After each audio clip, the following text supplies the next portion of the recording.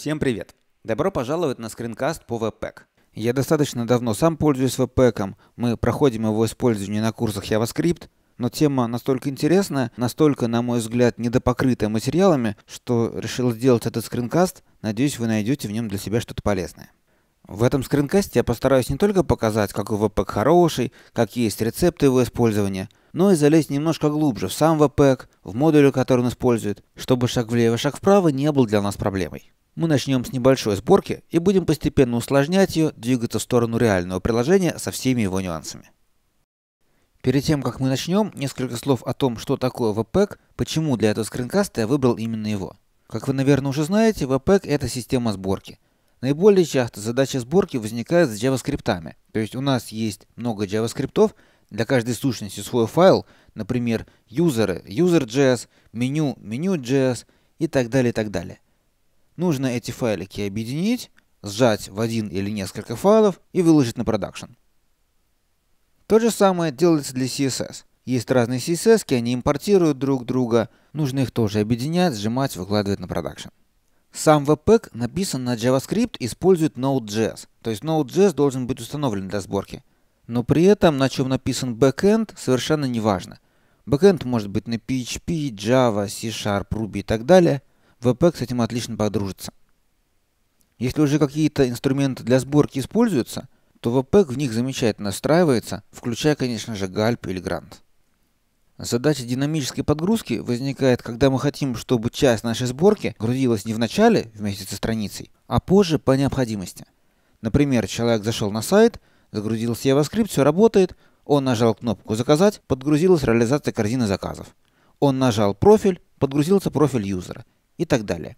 В Webpack есть особые средства, которые делают реализацию динамической подгрузки достаточно легкой и приятной, если, конечно, уметь ими пользоваться.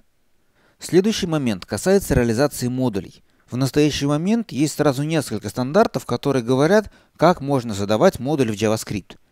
Например, AMD, UMD, CommonJS и, конечно же, ES 2015 модули.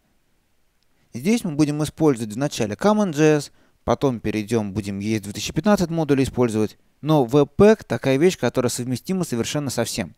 То есть, если у нас уже есть, например, плагины и какие-то сторонние модули, написанные на AMD, UMD, или вообще совершенно старые, кривые, страшненькие, но работающие, которые мы хотели бы использовать, то Webpack позволяет это сделать. Самое приятное, что не нужно их переписывать. Просто нужно настроить Webpack, и он все правильно загрузит в сборку. С препроцессорами совершенно нет проблем. Babel, CoffeeScript, TypeScript, Less Stylus для CSS, что-то еще замечательно встраивается в сборку. LivreLoad – это технология, когда все мои изменения в исходниках после сохранения автоматически попадают в браузер. То есть я поменял что-то в CSS, браузер автоматически ее перегрузил.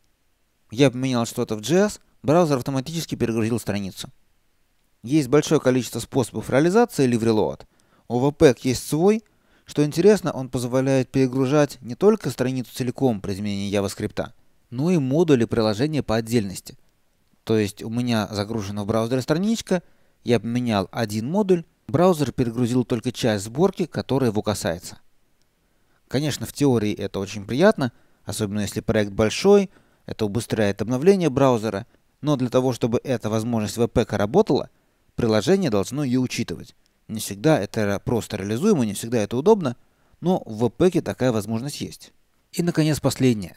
Webpack – это ужасно гибкая и модульная система сборки. Возникают самые разные задачи, требования, зачастую совсем интересные, нетрадиционные. Как правило, если мы хотим чего-нибудь эдакого, то ответ Webpack будет «да». Это можно реализовать. Это в нем, пожалуй, самое лучшее. Ну вот, я так расхвалил Webpack – Пора уже на нем начать что-то делать. Перед этим два небольших последних момента. Во-первых, современный JavaScript. Я буду его использовать, соответственно, полагаю, что он вам тоже знаком. Если что, тут вот есть учебник именно по особенностям современного JS. Там функции стрелки, всякие классы, итераторы, промисы и так далее. И Node.js. Webpack это все-таки утилиты на ноде, поэтому нода должна стоять, желательно последняя, если с нодой не работали раньше, то есть скринкаст на эту тему. Хотя бы первые 9 выпусков.